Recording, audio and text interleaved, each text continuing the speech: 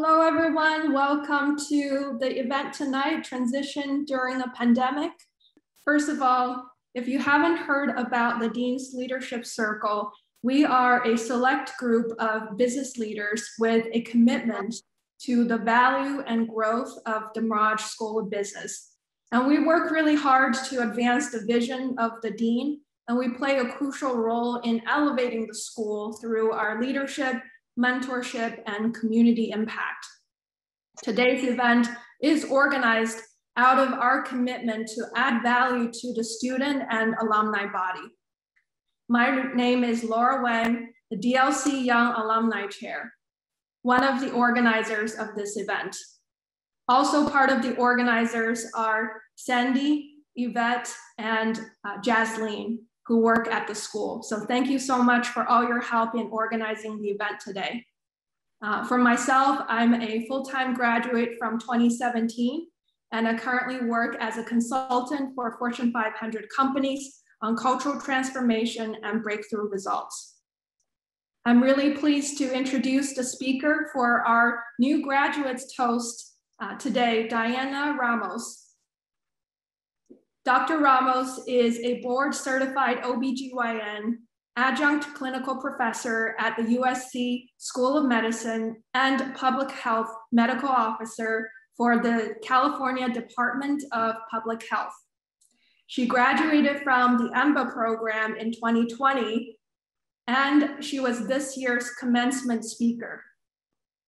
As a student, Dr. Ramos invented and developed a video game designed for teens that screens for signs of depression. And her app won the UCI Shark Tank competition and was selected as a participant for the UCI Wayfinder incubator programs.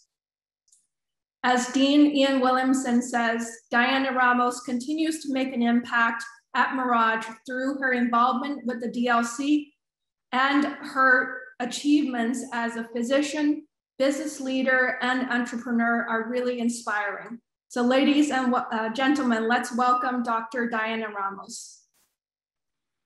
Thank you everyone so much. It's wonderful to see so many faces virtually. It was honestly a, a, pleasure to be the person to give the commencement speech. I only wish I would have seen everyone in person. And I have to just reiterate and say Congratulations on the wonderful accomplishment that you have achieved during this unprecedented time of the pandemic. You have done an amazing job, and I want to be one of the first ones to welcome you to the Merage Alumni Network. This, as you see, is a fantastic place for all of us to gather, um, if anything, right now virtually, but hopefully in person, you know, in a, in a, short while, so that we can all be able to network even even more and, and stay connected. I really, really want to emphasize the importance of staying connected, not only as an alumni group, but more importantly in business. You all know, and we are all either students or alumni of the Merage School, that networking is critical. Networking, whether it's um, meeting one person or being introduced by another person. All of those references are fantastic. So please remember, stay involved, stay involved with the, the here, the, the Dean's Leadership Circle. And, you know, it, it really is important to consider becoming a member of the uh, Dean's Leadership Circle. So I would encourage you, all of you, to join. And as a challenge, the simple ask for supporting the Dean's Leadership Circle is to donate $20.21. Something simple. Think about it like a dollar a day or dollar and a half a, a day or so for, for, for one month. And I just wanted to share five ways to make sure that you stay connected, not only with each other, but as an alumni network. And that is visit often. And these virtual meetings actually make it easier for all of us to visit. I would love to hear where some folks are from because it always ends up being that there's some folks that are from across the country, around the world, and really through Zoom, it makes the world so much smaller. Um, also, join or create a networking group and stay in touch with, with those friends that you met when you were during um, during your, your studies at uh, UCI, never, never, never forget to mentor, to help those who are coming through, to encourage. I was so delighted. I got a text from a friend of mine yesterday. She's a physician, and she said, I got accepted to the EMBA program. And it was because I encouraged her to do it. So never stop encouraging others to pursue a higher education.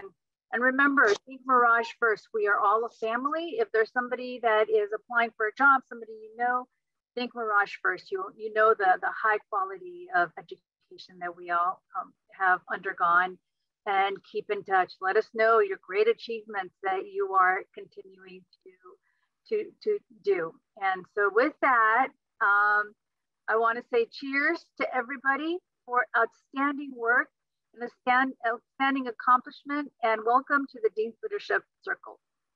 Great, thank you so much. That was really well done. Thank you, Dr. Ramos. And congratulations, class of 2021. Next, I'm really honored to introduce to you our panelists and moderators tonight. First up is Dr. Ming Leung. He is a associate professor at the Paul Merage School of Business, and he studies careers, hiring, and labor markets, and in particular, issues pertaining to diversity and discrimination in the workforce. Dr. Leung would be able to share with us what he'll see, he's been seeing in the market in terms of trends, as well as what, to, what it took for him to transition personally. Uh, Manisha Dhawan, founder and CEO of Empath Coaching, is a certified professional coach, Uh, consultant, career strategist, and design thinking specialist with over two decades of experience as a strategic partner to companies, Manisha has not only helped her clients navigate change, but she's made her own pivots as well, from consulting to Taco Bell to now she's founded her own company. And she currently coaches people on exactly today's topic of transitioning in this pandemic. And our last panelist today is Jamie Viramontes. He's currently the Chief HR Officer at Forever 21, where he's focused on revitalizing and growing the brand's people and culture. Having made the career switch himself not too long ago, almost a six months ago, Jamie will bring us perspectives of not only his personal transition, as well as some opportunities and challenges that he's seeing from the employer's perspective. And last but not least, we have the honor of having Alyssa Hilly today to be our moderator. She's a current Merage student. And while pursuing her MBA at UCI, she transitioned from working at National Geographic Learning to an ed tech startup where she manages digital products and content creation. So Alyssa, thank you so much for being our moderator. And I'm so excited for today's panel discussion. And uh, without further ado, let's get started. Thank you so much, Laura. Thank you for those great introductions. And thank you everyone for being here.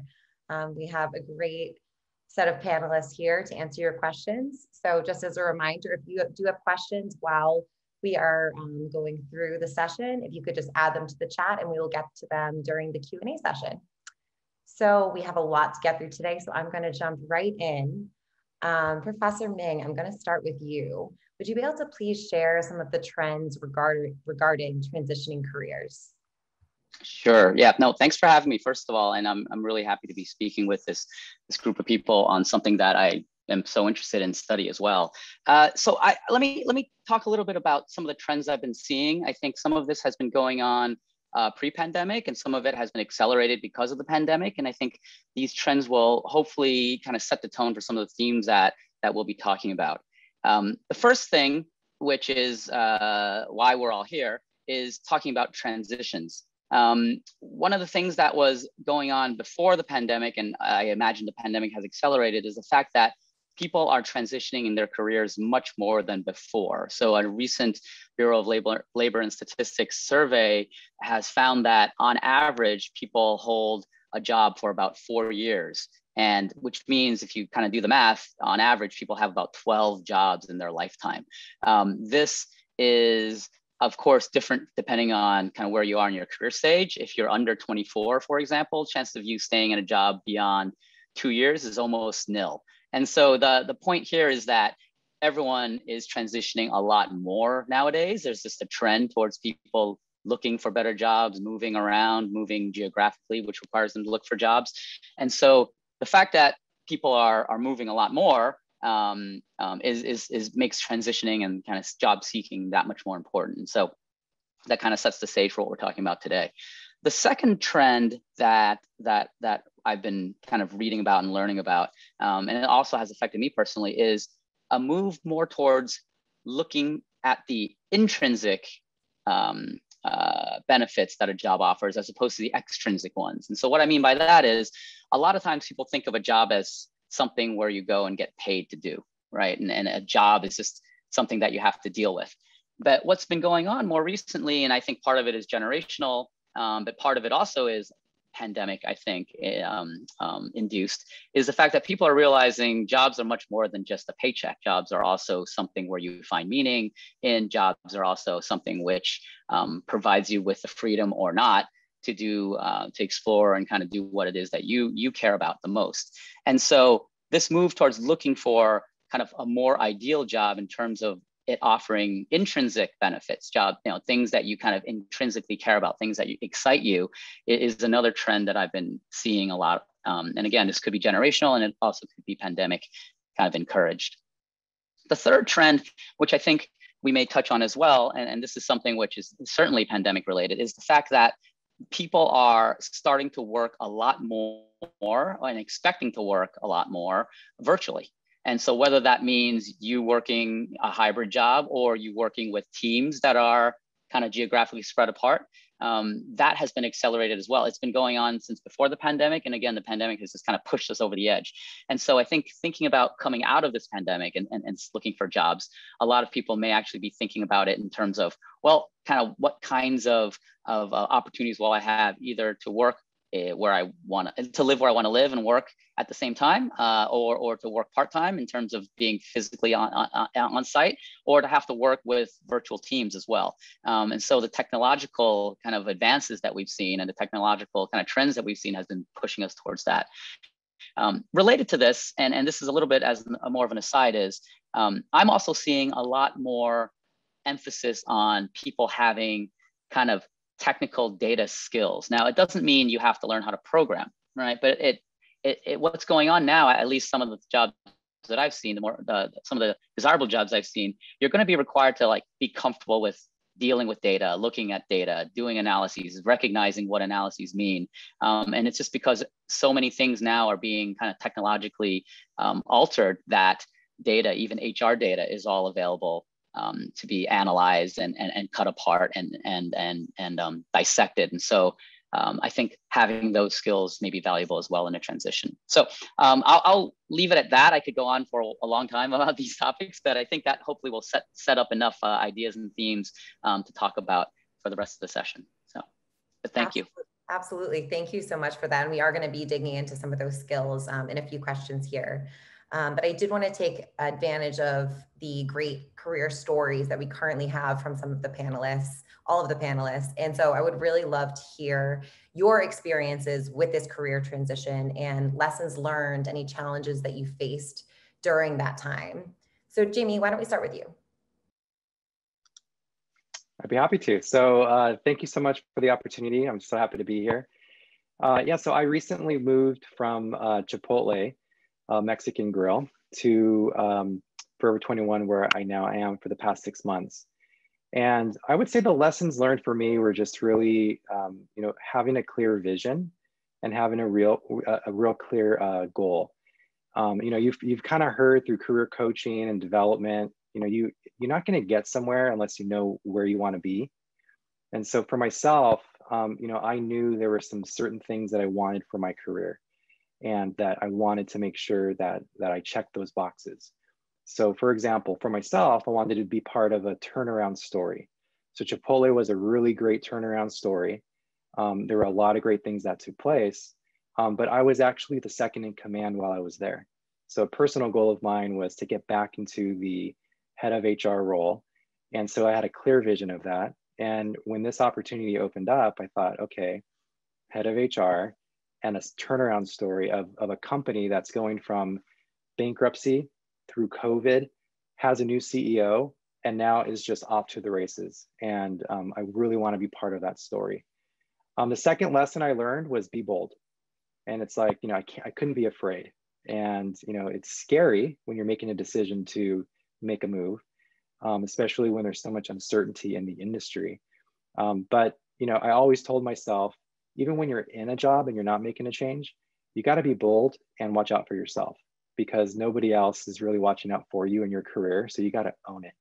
And so I, I knew that I needed to own my own career. And the third thing I would say is be persistent. And that's the other lesson I learned. And, you know, just because a door closes doesn't mean that another one's not going to open up again.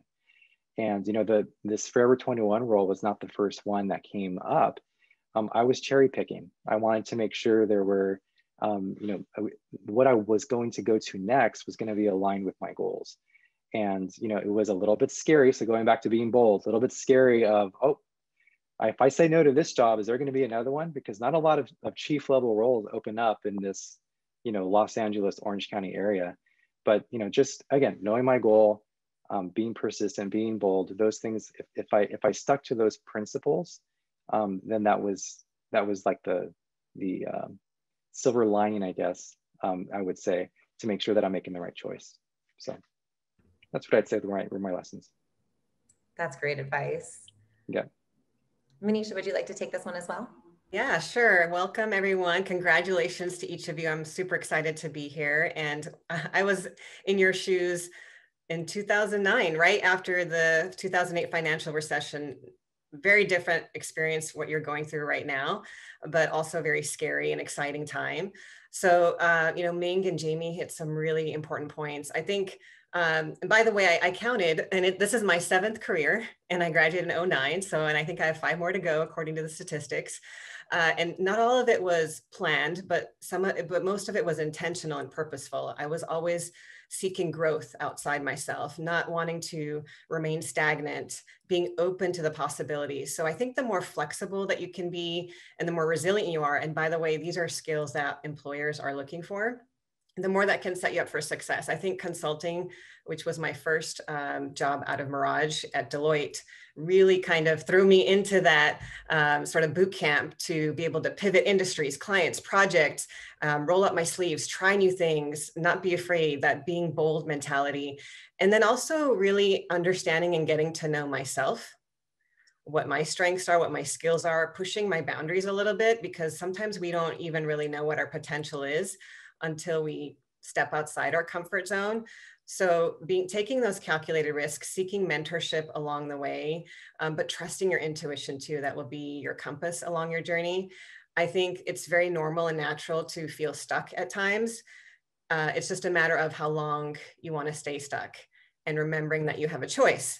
So again, as we think about how the, the world is fluctuating and changing at such an accelerated pace, digital transformation has been going on for a while, but you know, the pandemic, global events, um, social injustice, these things are coming to the forefront and also coming um, as a priority for companies to really tackle and grasp with in terms of what kind of culture do they create to retain and attract employees. And now the market has shifted a little bit. There's a bit of a war for talent. So as candidates, you may also find yourself having an option to say, you know, maybe I want to work um, hybrid or remote uh, and, you know, be able to flex across different roles.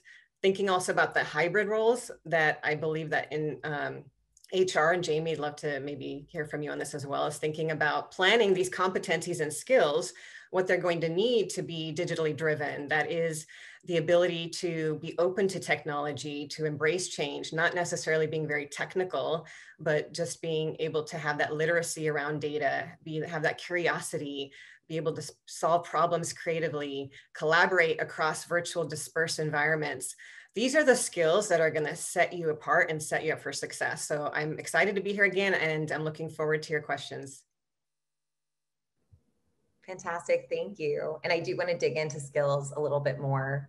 Um, I do want, I know that there is a lot of recent grads on this call. So I would love to hear some advice that you may have for recent grads or even people who are a little bit earlier on in their career. Ming, would you like to start this one? Sure, I'm, I'm happy to. Um, so as, as a professor here, you can imagine this is one of those, some of the questions I get a lot uh, in terms of thinking about how to, how to get a job coming out of school um, or how to think about jobs coming out of school. So I, I, would say first, relax. okay, no matter what job you end up getting, it's probably not going to be your last job, right? And so, so let's just, let's just not worry about the everyone were you know gearing up to get their perfect job when they graduate or not because it's it's i can tell you it's not going to be your perfect job for lots of reasons right? First as, as we've talked about the statistics are against you in terms of making it your your final job.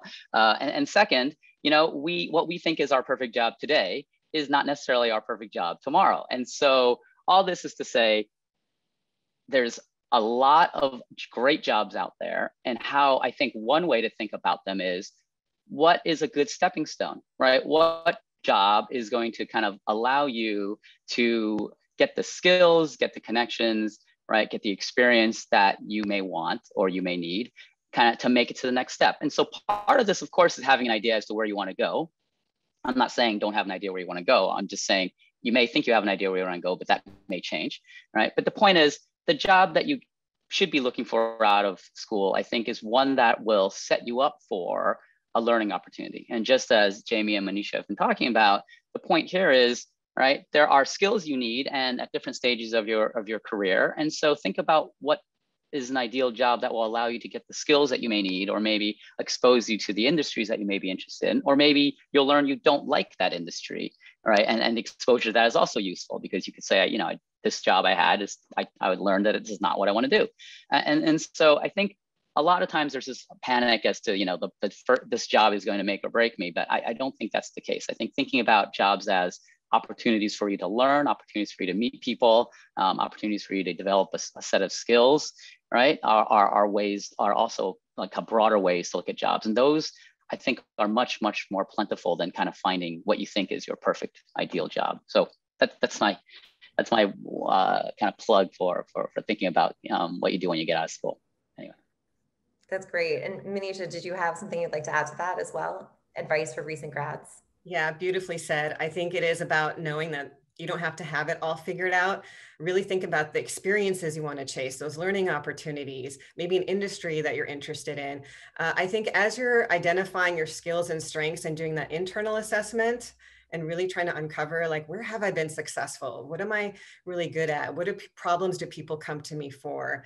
When do i feel like i'm in the flow and the element? Those will give you clues and signals to maybe what directional you directionally where you could go. But again just being open to different possibilities. The jobs and the titles those things are also flexing and evolving and changing and you're going to evolve and change. So the traditional roles might start to evolve people and culture versus hr uh, you know all these different hybrid roles in addition to doing your internal assessment, I would also recommend looking at the marketplace and seeing what trends, you know, Ming pointed out some great ones, but what are companies really struggling with? What are your target companies uh, really faced with today? And how can you come in and potentially help them solve those problems and address those gaps?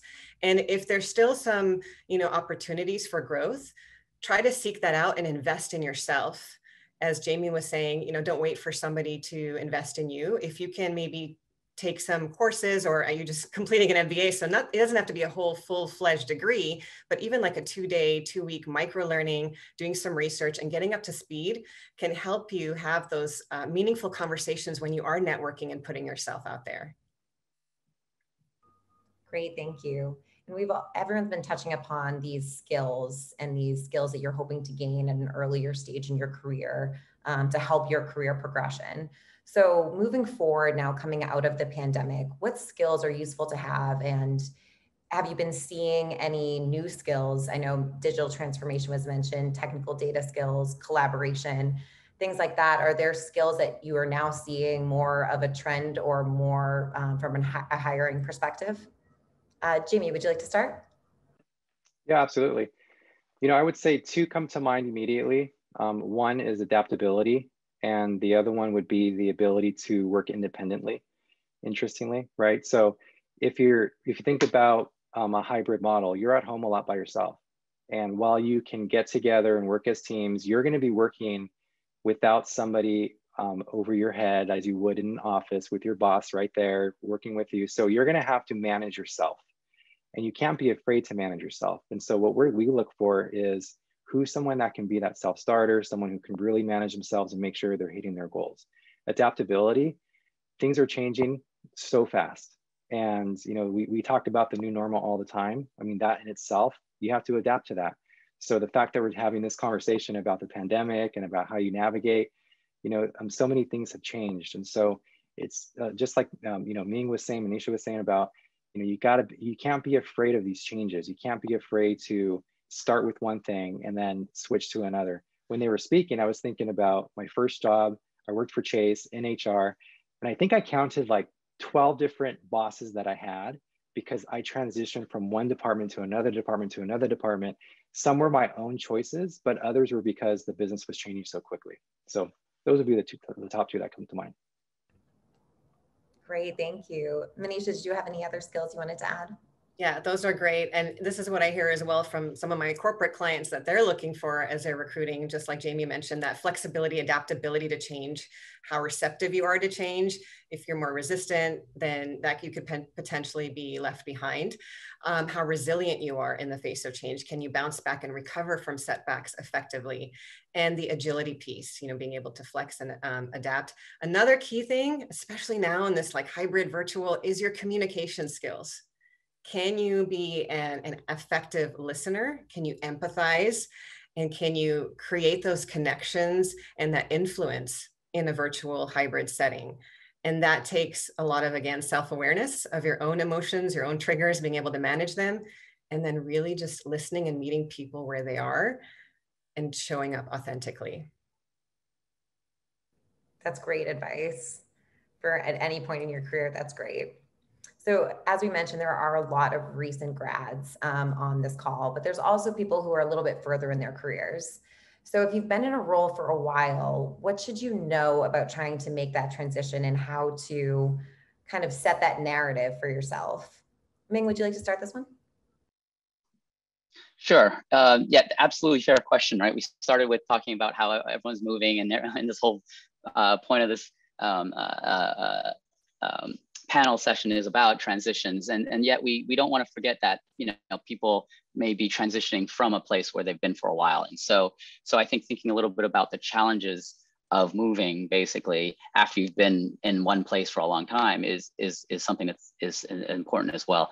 Um, i think what i've been so i do study as i said i do study transitions and there are people that make transitions after a long time. I think the challenges are that you um, may not have as obvious of a trajectory um, um, to, to, demonstrate kind of progress. And so usually because of all these transitions you see in, in the labor market, people are also looking at your resume in terms of, you know, what are the jobs you've taken and, and what are the kinds of sequence you've taken them? And does this look like something that you're headed towards? Right? And if you don't have a lot of those moves, if you just have one job where you've been there for five, seven, eight years, then people may may be concerned that you aren't kind of um, um, working towards something, or it's hard to convince someone you're working towards something. So I think uh, the challenge with of of someone you know being in one place for a long time is is that you know they don't have kind of that that movement that demonstrates they're ready or they're or looking for the next thing. Um, that's one obvious challenge. The other is, of course, the fact that your skills may have atrophied, right? The point, uh, as what Manisha and Jamie are talking about, is you know the skills change and what people are looking for change, and if and if you can't kind of demonstrate that, um, there's a risk that you may not look like you have the right skills. And so, I mean, I can set up the questions and the risks. Um, I think Manisha or, or Jamie may be better positioned to think about how to kind of address those. So. Absolutely. Manisha, would you like to add on to that? Yeah, sure. And uh, you know, I've I come across this a lot as well, and just people that have stayed in the career for a really long time for a variety of reasons. Maybe they started when pension was available, or they feel very comfortable. Um, you know, they've uh, have a good schedule, they have a good relationship with their teams, and change can be scary and hard, no matter how how recent it is or you know how long you've been in a role or uh, if you're just graduating and starting something new. So i think the key is again to bridge that story get comfortable with that sort of elevator pitch when you introduce yourself that you're connecting where you are today to looking forward where you're headed and why and even if you've been in the same role for a long time, you could maybe try to tease out and find ways that you have progressed. Maybe you've taken on additional scope or responsibility, or your role has pivoted slightly. Uh, you know, you were an individual contributor, and maybe you were uh, now in a cross-functional team working with, uh, you know, a group of stakeholders. So find those success stories, maybe like three of them, practice speaking them out loud, and really look for those transferable skills. If you're looking at a job description, for example, and, and you're coming from um, an operations role and you want to move into project management, there's probably some ties and connections you can make if you have led a project or if you have been a facilitator or liaised between team members, you were responsible for a timeline or you know um, managing a budget. It's again about pulling those threads out of your current experience, bridging the gap and telling that story. But it is very, very possible to make that switch. I've seen it happen successfully uh, and, and be patient with yourself because it, it's, it, it might feel like, you know, you're just moving slowly and be patient, be compassionate. And again, just seek some of that self, some of those answers within, do some soul searching. Why do you want to make that change? And when you talk to recruiter or hiring manager, this is what I've done, here's where I've been, here's how I can add value to your organization. And now you're really speaking in their language in terms of what they need, their pain points, and and moving the story forward instead of in the past, if that makes sense.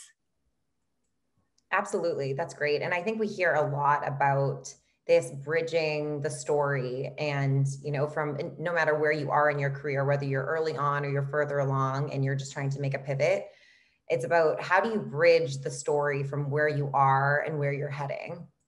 Jamie, do you want to add on to that? Yeah, so much, uh, so many jewels have been said already, gems, I should say. Um, I would add that, you know, don't be, going back to what we said earlier, don't be afraid to use your network because if you've been somewhere for a while, you've, you've established a lot of really great relationships. People know you really well. People are probably come and gone stay connected with those people because they're probably landed in other places and they can help you get to that next place. The second thing I'd say is be bold on your resume because that's going to be your tool to get the attention of the recruiter that's recruiting for the role that you want. And make sure that you're succinct in terms of what you've done um, and talk about your accomplishments, but think ahead of, you know what, if they, I'm, I'm probably facing, um, you know, the fact that I've been here for a while. So what are those people going to be asking me? and wanting to see in my resume that stand out. And then once you land the interview, make sure you're bold again with when, when you're talking and giving your answers, give those clear examples of how you're thinking outside the box and how you're resilient, how you're adaptable, how you can change, because that's gonna help you get that much further. That's great, thank you.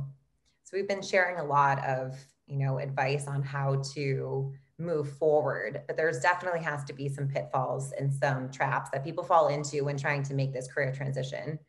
So Manisha, can you um, discuss that a little bit? Yes, lots of pitfalls to watch for. One is you start to doubt yourself and lose that self-confidence. Uh, so just be mindful of the self-talk uh, that you're doing, those, you know, that inner dialogue that we have.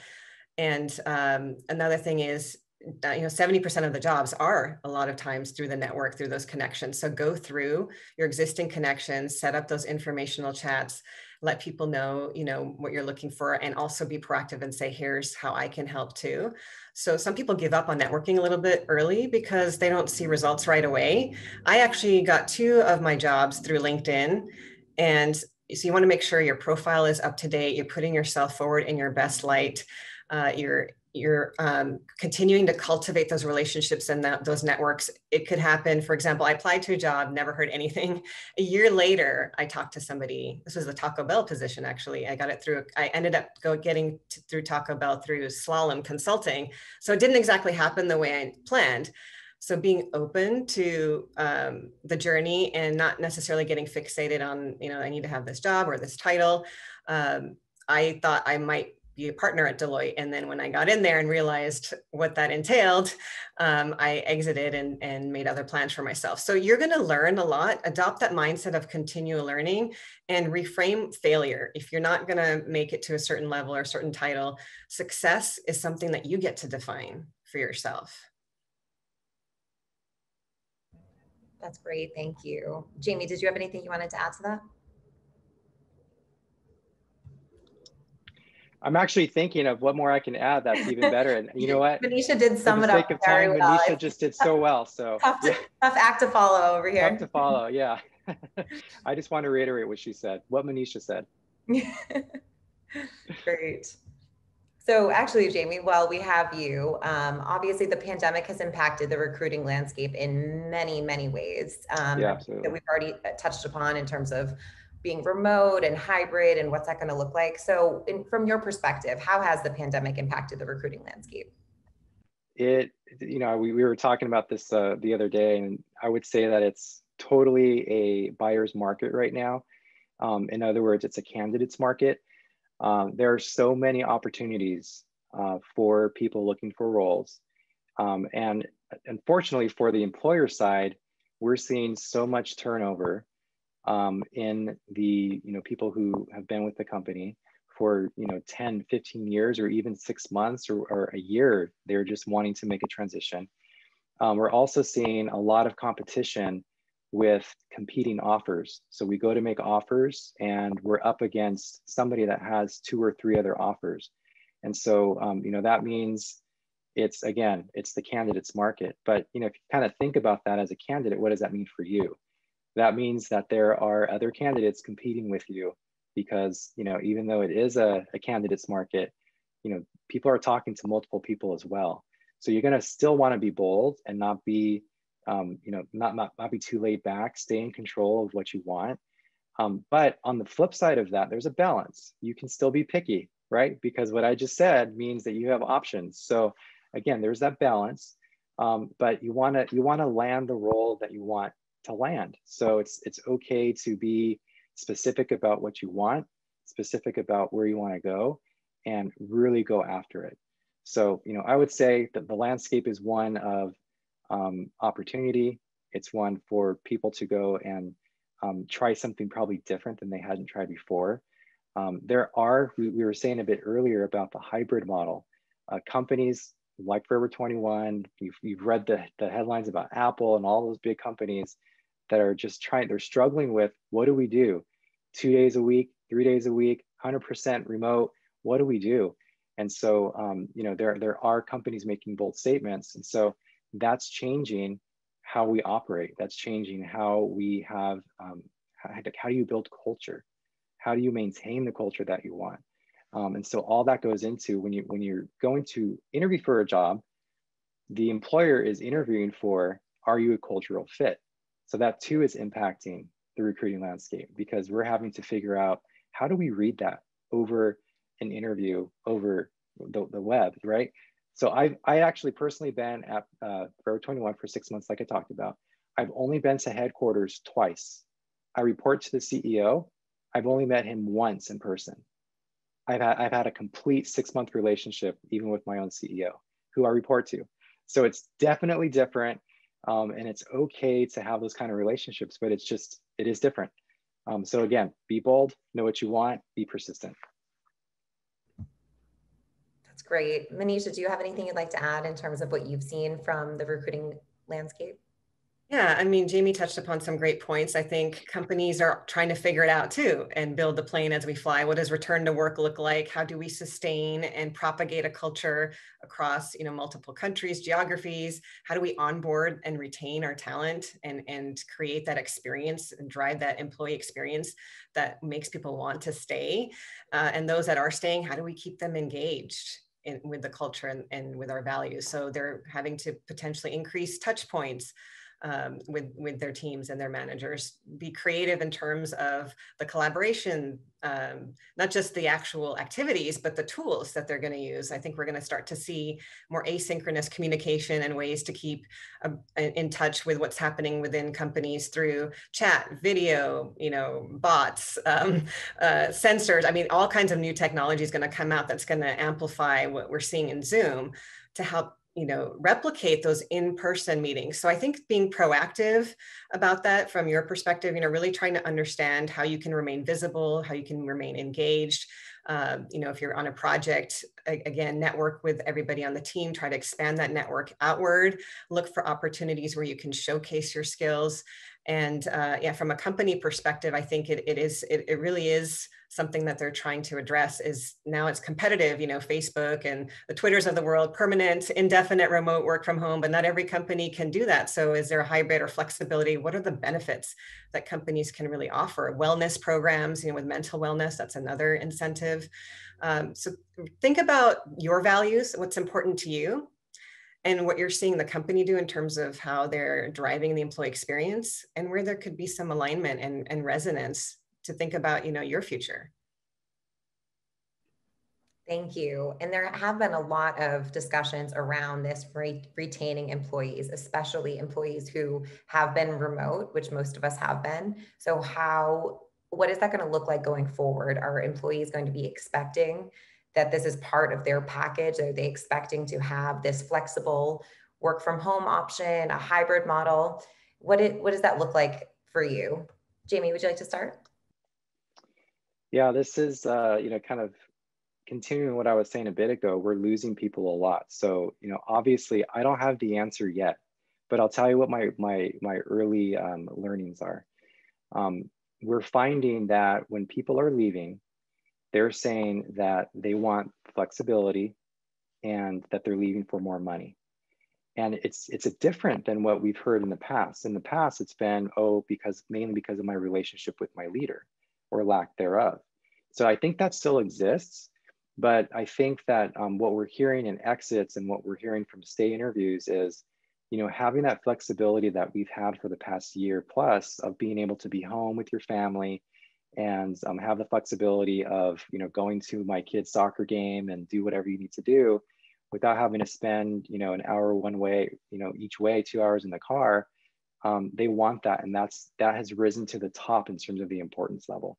So for companies that aren't doing that you're starting to lose that. And and, and people are going more towards that that place of um, 100% remote or even more remote than you are. If i'm three days i'm going somewhere that's two days instead. Um, so I think that the lesson for, for me right now has been um, to listen to our employees, make sure that we're very much in sync to what they're telling me, right? And we gotta, we gotta get rid of the old school thinking of everyone's gotta be in the office as an example. Um, and we gotta think outside the box. And two is people still wanna have that connection, right? Even though they want remote, they still wanna have a relationship with their leader. They still wanna grow. They still want that career growth. And so we got to find a way to keep that um, you know front front and center so that our people are growing and having the flexibility that they want so very interesting time absolutely thank you manisha do you have something you'd like to add yeah, that's great, Jamie. I think, yeah, the co-creating with the employee, can you involve them in the conversation and, and get their feedback in a continuous loop so that you're keeping abreast of what's really important? What do our employees really care about? And it really sometimes also depends on the role. I've seen companies where they've returned full-time in person. If they're manufacturing, um, if you're in R&D, if you're doing IT infrastructure and your role requires you to be on site, you may not necessarily have an option, in which case you have to um, ask those difficult questions. Is that something you want to do long term, or can you afford to, or do you need to relocate? And I think for other com- you know companies, again, I think there's some experimentation. Is it the Monday, Wednesday, every other Friday? Is it the Monday, Tuesday to keep people in the office consecutively? Um, should we add a collaboration day once a week? So I think that that might even evolve over time a little bit. Um, so again, it, the more open and flexible that you can be, as companies are also flexing through this stage and, and learning, I think then that will also set you up for success and, and provide more options for you as well. Uh, you know, I, I think Jamie you hit on some really great points in terms of what does this mean for the overall culture? How do we stay engaged and connected? And, and if you're onboarding right now, you're you may never actually meet your team in person for a while. So, uh, what can you do to show up as your best self and prepare for the role?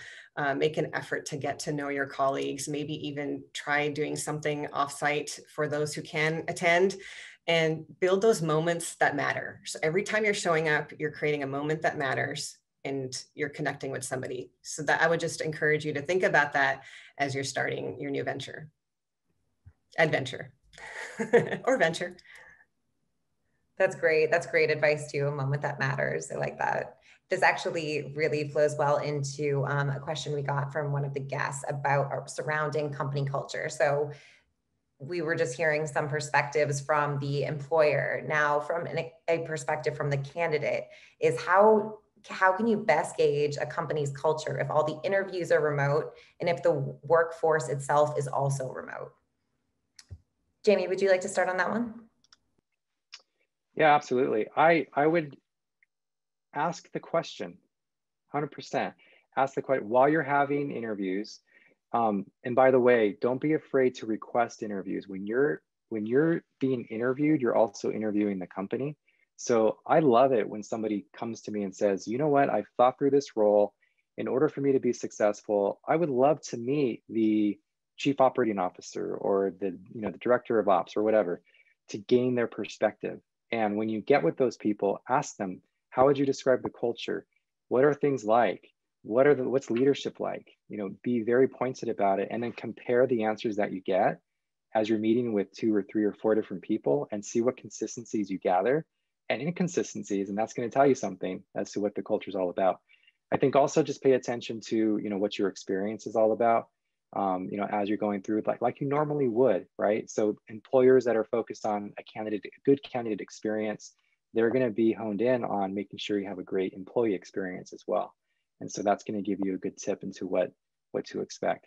And then I think the third thing would probably be um, what kind of offerings they're thinking through. Are they, are they innovative? Are they cutting edge? Are they thinking ahead? Are they in tune with what's happening today? And um, that's going to help you determine, you know, is it also cutting edge company thinking thinking ahead, progressive type company, it's going to give you some foresight into that. That's great. Thank you. Manish, did you have anything you'd like to add to that? This is such a great question because I think, you know, with culture, there's so many subcultures too within organizations. So you might get a have a t- be on a team where your culture is completely different from your colleagues subculture. Um, I, you know, Jamie hit some great notes there. I think it's worthwhile asking the question during interviews as you're networking too, and um, you know, being bold, finding people that work there, having those virtual coffees, saying, "I'd love to hear more about your role, how you've been successful, what advice you might have for somebody like me." And listen for also what's in between the lines. Sometimes the questions that you can also ask are things like, uh, you know, how how does how does conflict get resolved on the team? Or what does inclusion and dei look like? You know also trying to um, get to culture by asking those sorts of questions that um, could could give some more uh, color some more light uh, shed some more shed some more light in terms of those aside from what's on the brochure and on the website you know we're a culture that values inclusion and um, being human and transparency you know to really get to the heart of the culture it does take some a lot of research. I will also say the pitfall here is to take things with a grain of salt.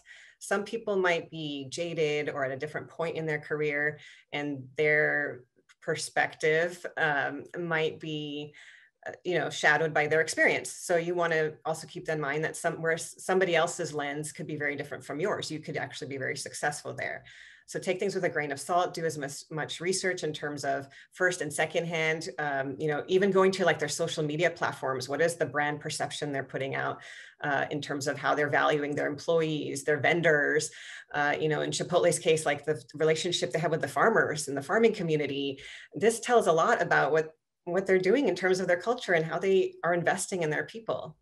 Um, and, and again, and, and you're, if you're onboarding virtually, it might take some time to get the nuances, nuances of the culture, but also you have the opportunity to help create that just by being there and adding value. That's great advice. Thank you. Ming, did you have anything you'd like to add to that? Uh, no, I think they hit on. I think Jamie and Manisha hit on exactly the, the, the right points. I think I'd like to emphasize the idea of um, uh, of, of networking and kind of ask finding people that work there to tell you a little bit about their their culture and their experiences. I think that I don't want to. I, I, want to make sure that one's underscored because I think the, that's incredibly valuable. I think firms may talk about their culture on their websites and their annual reports and and and then have a very very different kind of actual lived experience when they when people work there and so i think be, um, being able to kind of get the insider story about that is, is is incredibly valuable. And that that what that does is allows you to kind of be more compelling when you when you meet with recruiters when you meet with when you interview um, because you can be forthcoming with you know your your uh, vivid and compelling stories that that match with what they're looking for. And that and, and having that and being armed you know forearmed with that is is incredibly valuable i think. So just want to underscore that. Absolutely. That's a great point we have a few more questions from guests so i will go through these. Um, one of these we, we touched on this a little bit at the beginning but um, ming it would be great if you could elaborate on this a little bit. Importance of first job out of college and securing that perfect perfect first job. What if that's not possible? What if that is not you know what is available at the moment? What should we prioritize? Yeah no that's that's incredibly it's very reasonable like i said first off um, you know I, I I, I thought I had a perfect first job, which I was lucky enough to get. And, you know, I, that was, you know, eight jobs ago or something like that and, and a totally different industry ago. So, so, um, I, I, I want to make sure we come back and make and we understand that that point. But so I, I, I think so again, think thinking of your first job as a stepping stone uh, allows you to kind of take the advice that Manisha and Jamie and, and I have been kind of talking about and thinking about what it is, which job will allow you to get kind of the skills, the um, exposure, the um, the learning that you you need right, to set you up for your second and possibly third, et cetera, job, right? And so, in that sense, I'll say it's not necessarily about brand name. It's not necessarily about um, um, pay, right? Because you could give those up and get a much better learning experience and the much much better opportunities. And so,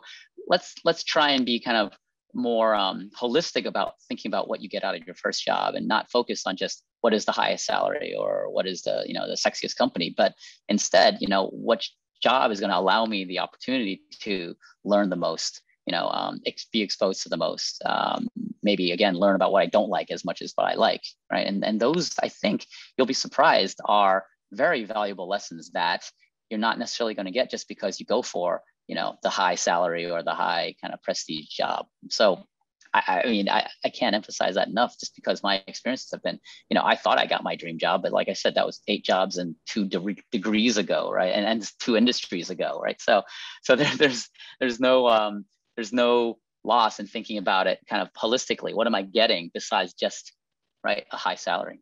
So, so that I think that, that that's one way of thinking of it. Yeah, that, that's a great perspective. Manisha, would you like to add to that as well?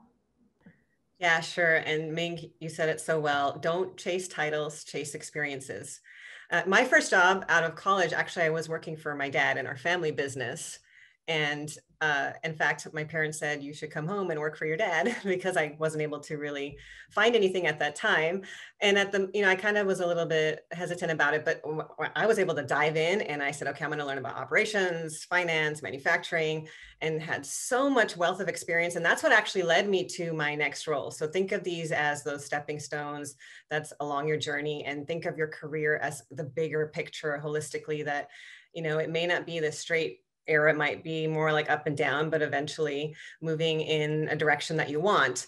Um, so having a sense of what you want, being intentional, purposeful, proactive, but again, open and flexible. And once you're there at the job, let's say it's not your dream role, make the most of it anyway. Network, build those relationships, and you can continue to look and see what, what else is out there but what are you meant to learn and, and get from this opportunity? And I guarantee you'll find something, um, even if it's just going to last six months or a year. And remember again, it's likely going to change. I moved from operations to HR to IT to consulting. And I think, you know, I think in a way that that will open some doors for you if you just just be open to the possibilities. Um, the titles and the accolades and and the salary, that will come. You know, um, that will eventually come. So don't feel all that pressure. Don't put so much pressure on yourself to have it right out of the gate. Really think again about how can you maximize yourself in in wherever you wherever you do land, and then that use that as a platform and a shooting off point to go wherever you want to go next. That's great advice. That's great. Um, I have one more question from uh, the guest. How have you leveraged your network to transition and advance in your careers? This is a great question. Jamie, why don't we start with you on this one? My network has been everything. Like, quite honestly, you know, it's, I don't, I think back to what, what did we do before LinkedIn? Oh my gosh, you know, I guess um, you just had to keep the contacts that were in your phone and you know, make sure you went to, to lunches and did everything. But now, I mean, we just have such a powerhouse with something like LinkedIn to be able to keep that network. But um, I've leveraged it for every job that I can think back to. And I've been in HR now for 25 years. Um, I thought I thought I was going to be a civil engineer. My first job was in HR, and that completely switched and changed my whole philosophy. So that's just a good example of you never know what you're going to walk into and what you're going to end up doing.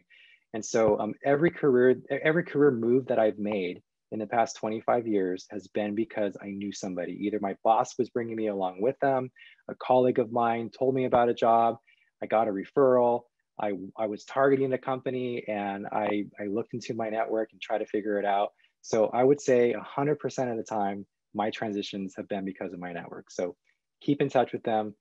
Um, don't be afraid to, to uh, reach out and I was actually nervous a few times reaching out to some people that I used that I would be like, oh, they're not going to want to talk to me. They're not going to want to help me. People are flattered to want to help the majority of the time, at least the ones you want in your network. they're flattered to want to help you and to encourage you and help you grow. So don't be afraid to use them. That's great advice to really utilize that network and yeah, yeah. don't be timid, which I'm sure yeah. we've all felt at some point. Yeah, absolutely. Manisha, do you have anything you'd like to add to that one? Yeah, networking, I mean, it never really stops. Even if you're, even when you're employed, you want to continue to build your network uh, and, and make it, again, make it work for you. It doesn't have to feel like transactional, like a chore. Maybe you set a goal. I'm going to have five, you know, five coffee chats this week. Uh, for me personally, my Merage alumni network, I mean, I, I've I basically landed at Deloitte through Merage. It was uh, through Merage Recruiting. So that was huge. And just staying in touch with people um, after that, going in, in, all my other positions and jobs again. Um, you don't have to have it all figured out and you can pivot at any time. Um, eventually, even with my own business, my network is extremely important when I want to make connections, do things like this. This came from networking. This opportunity right here with you guys today. So uh, you'll you never know you never know where it might take you. It may lead to a friendship. It could be a mentorship. Maybe you become the mentor and you set somebody else up for success or tell them the words that they need to hear. So have fun with it. And um, yeah, you might be surprised the relationships that you uncover, the friendships.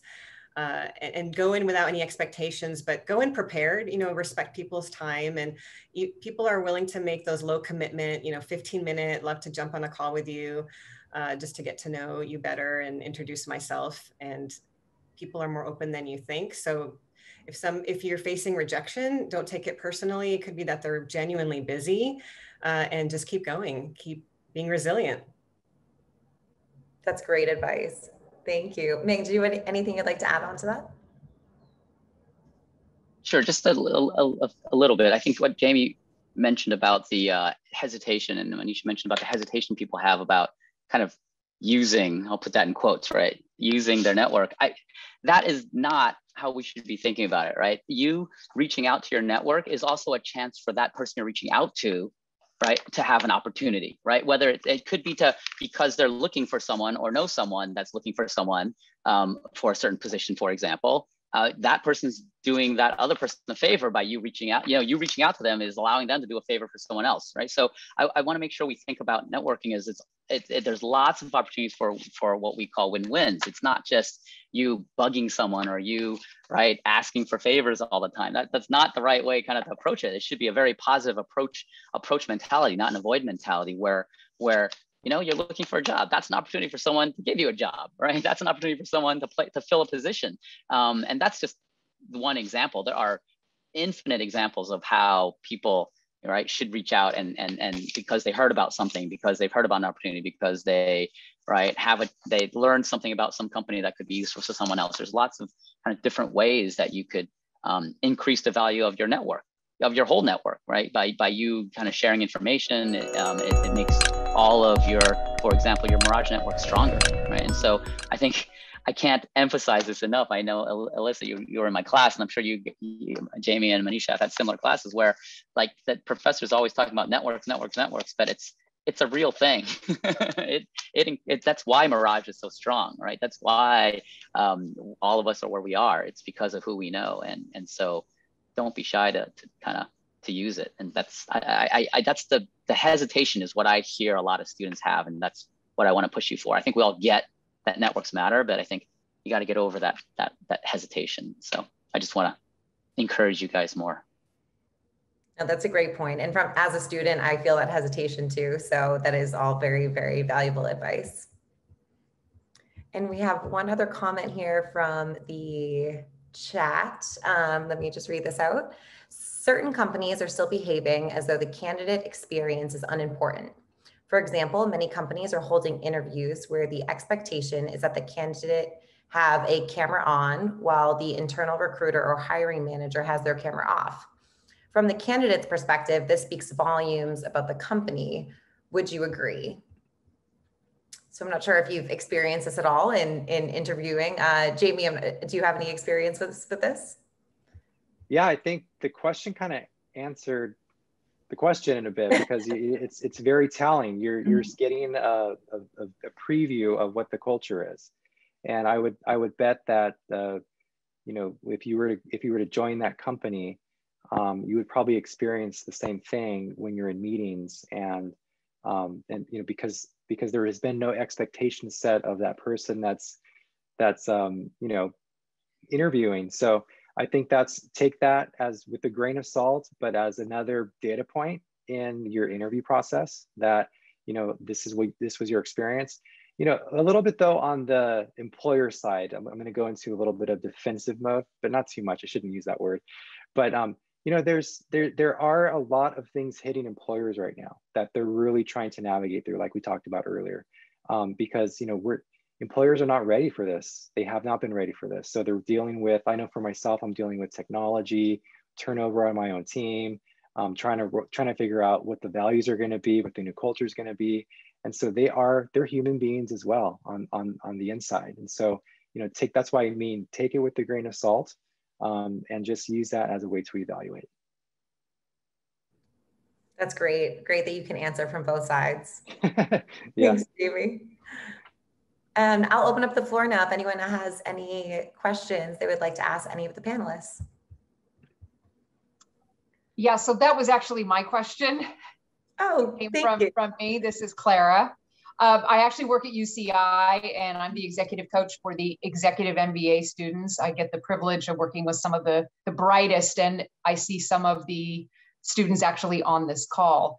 And so it's not my own experience, but this is this is a trend. I'm hearing this repeatedly from Fortune 200 companies who are using this method of interviewing people, and it's very disconcerting.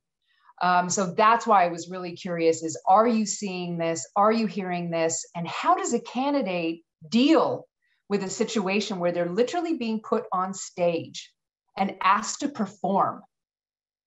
That's what it feels like. So I'm speaking up on their behalf. Thank you. No, it's, yeah, it's, it's a great point. This this makes me want to add. This is a, such a great point. So thank you for adding that question. I would say that um, one of the things I know from Forever 21, what we're we're saying is we are setting the expectation that when you're in a meeting on both sides, that we all have our cameras on. Especially if we're going to be going to this commitment of a hybrid model, where we're committing to three days in the office, two days out of the office. What does that mean? What are what are the ways that we're going to cope with that? If you went to a meeting, you wouldn't be hiding behind somebody. You know, you'd you'd be expected to be out there in the open with everybody else. And so um, that's an expectation that we're setting. And, um, you know, I hope that other companies are, are going to do the same thing because I, I agree with you. It's, uh, it's awkward, it's strange, and I don't believe in putting candidates up on the, you know, in the firing range, if you would. it's not a good experience. Yeah, it's hard to coach people to prepare for something like that because yeah. it's all about wanting to make a connection, a human connection. And we're already in a, you know, a, a two-dimensional world. We're, we're robbed of the three-dimensional world because most interviews are happening this way. So yeah. I just find it, I find it interesting. But thank you so much for uh, for commenting on that.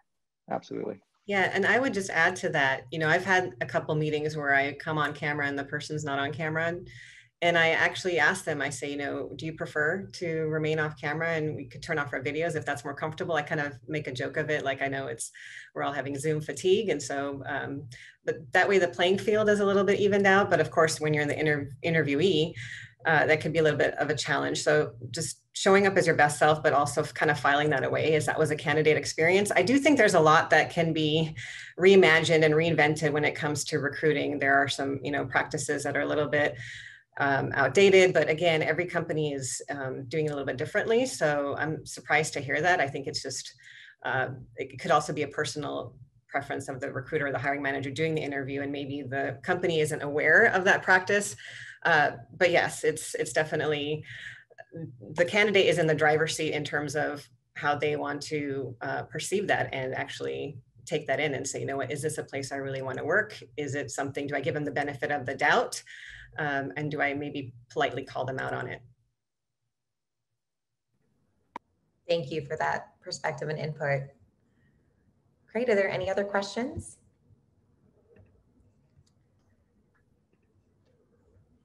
We are approaching time, uh, so I will hand it back over to Laura to wrap us up. Great. Thank you so much, Alyssa. And thank you to all the pan panelists, Manisha, Ming, and Jamie for all of your wonderful insights. I wrote down a lot of good notes, even for myself. Um, and you know, being flexible, being a self-starter, and being resilient. These are ways of being that's going to help us throughout the pandemic and post-pandemic whether you're job searching or not, whether you're transitioning or not. So thank you so much. And I will be sharing some more of these pearls on LinkedIn and tagging you uh, tomorrow. So, um, and then I would like to make some announcements to uh, share with all of you the upcoming events that uh, Sandy would like to highlight for all of the alumni. So first of all, we have an event from the Beall Center for Innovation and Entrepreneurship uh, coming up in about three weeks. Uh, how to identify and navigate federal funding opportunities. And also feel free to uh, bookmark these two pages, Merage Events Calendar and UCI Alumni Events, so that you can get the most updated information on there. Also, I'd like to share with you the social media links for uh, staying in touch with the Merage School the alumni group and the DLC. So um, Jasleen will be chatting the links to uh, the chat box on the bottom. So feel free to, whichever group you're interested in joining, uh, click on those and stay in touch with us. And thank you everyone for attending today because this is our com alumni community and together we can be really strong and we're gonna propel the Merage School forward.